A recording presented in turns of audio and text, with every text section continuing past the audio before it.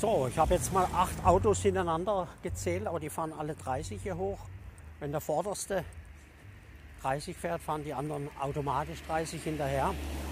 Die Frage war noch, ob man jetzt die Kometen, die Sternschnuppen sieht. Und ich habe aufgeklärt, da sollte man außenrum Dunkelheit haben. Vielleicht muss man da immer raus aufs Feld.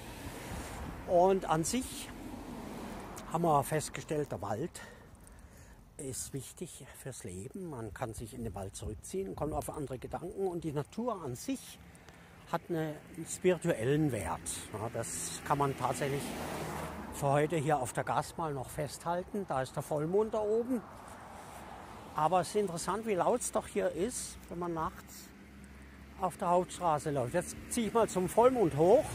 Ja, die Sternschnuppe zwischen Mitternacht und 5 Uhr bei Orion, ne, den kennen Sie ja noch vier große und drei kleine. In der Mitte ist der Orion und da sind dann die Sternstufen, wenn man Glück hat, zehn pro Stunde oder so.